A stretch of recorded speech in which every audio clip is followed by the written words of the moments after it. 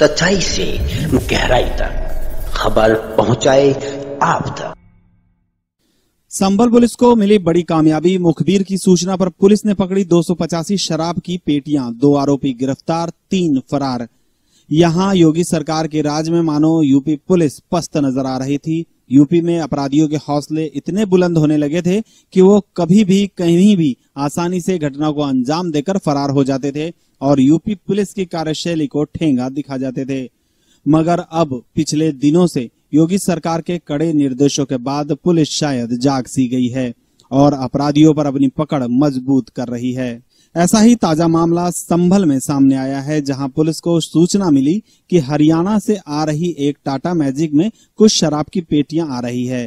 जी एक रात को सूचना मिली थी कि एक कैंटर संदिग्ध जो है वैध शराब लेके आ रही उस सूचना पर हमारी एक्साइज की दो इंस्पेक्टर और उनके कांस्टेबल को हमारी थाने की एक सब इंस्पेक्टर, चार कांस्टेबल तो उसमें सूचना के आधार पर गए संदिग्ध वाहन को चेक किया।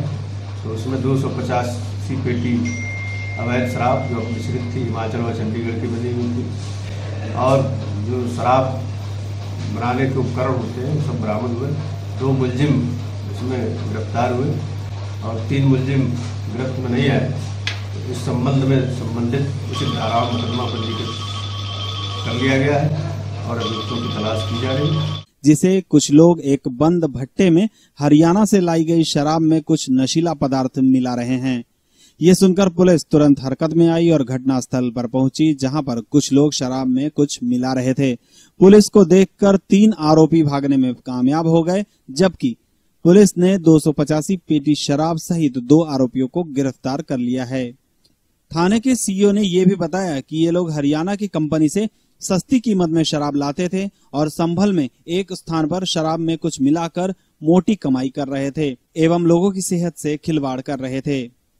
उत्तर प्रदेश ही नहीं, सारे देश में पुलिस अगर चाहे तो सारे अपराधी गायब कर सकती है और आशा करना चाहिए कि पुलिस इसी तरह से काम करती रहेगी और अपराधियों पर नकेल अवश्य लगेगी। संभल से प्रदीप मिश्रा की रिपोर्ट इंडिया, अब तक न्यूज़ के लिए। आप देख रहे हैं इंडिया आप तक समाचार।